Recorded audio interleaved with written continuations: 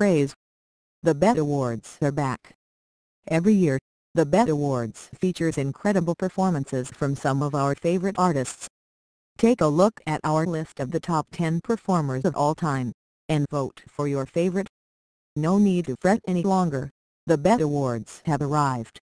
With some of the biggest and best artists in the music industry getting ready to perform on June 28, I has decided to round up the 10 hottest performances, which includes Chris Brown 26, Beyonce 33 Dre 28, and more.